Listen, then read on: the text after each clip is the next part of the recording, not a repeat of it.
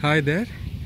The new 400 liter barrel ponic system is completely ready, installed, and the hydrotons also have been added. The system has just started. We just put the pump on, and the system has just started cycling. So probably we'll let this run like this for another seven days before we add the fish, and uh, you know, and post that another one more week we'll wait and uh, add the plants.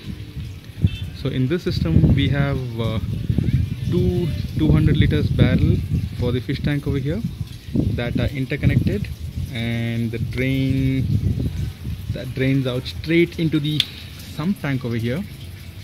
And from the sump tank the water goes in to the grow beds and drains back into the sump tank so this system is right now a 24 square foot grow space. And this is a 400 liter system.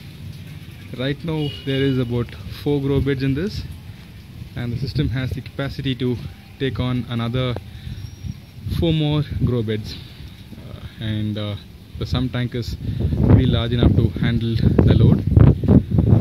So we'll keep you posted. Another uh, three to four weeks I will share another video based on how the system is growing.